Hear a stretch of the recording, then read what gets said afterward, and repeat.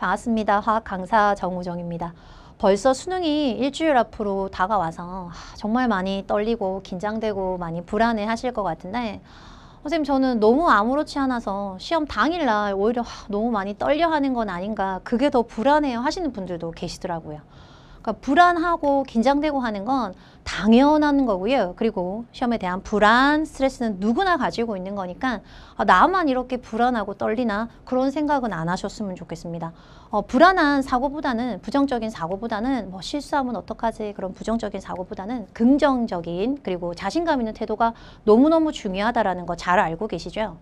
어, 성공한 나의 모습을 기분 좋은 나의 모습을 상상을 하시고요. 그리고 내가 지금까지 노력해온 바를 수능에서 제대로 실력 발휘를 해보겠다라는 자신감 있는 태도를 유지하시는 게 너무너무 중요할 것 같습니다.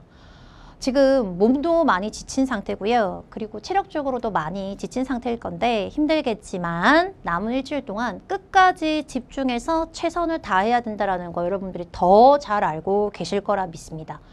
새로운 문제로 오히려 더 자기를 불안하게 만들지 마시고 오답노트 적극적으로 활용하시고요. 내가 어떤 부분에서 실수를 많이 하니 주의해야겠다. 내가 아는 문항에 대해선 절대로 틀리지 않겠다. 반복적으로 계속 학습해 주시면 더 도움이 되지 않을까 싶습니다.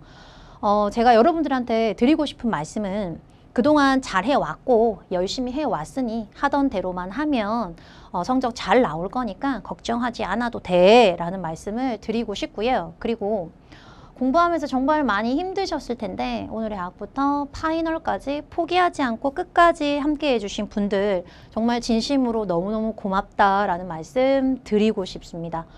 저도 수능 날이 되면 정말 손에 일이 잡히지 않을 정도로 긴장되고 하, 애들 시험 잘 봐야 되는데 잘 보고 있나 그리고 이제 수능이 끝나는 시각이 되면 정말 핸드폰만 이렇게 쳐다보고 있거든요. 애들이 연락이 올까 Q&A를 통해서 계속 기다리고 있는데 정말 많이 떨리고 긴장되는 건 당연한 걸 겁니다.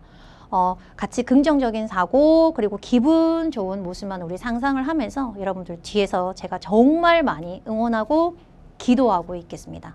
그동안 함께 해 주신 우리 인강생, 형강생들 너무너무 고맙다라는 말씀 드리면서 시험 잘 보고 오시라는 인사를 끝으로 드리고 싶습니다. 수고 많으셨습니다.